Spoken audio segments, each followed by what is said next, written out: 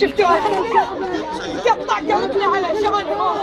هذول اللي ضفونا يوم الغزو هذول اللي شالونا بعيونهم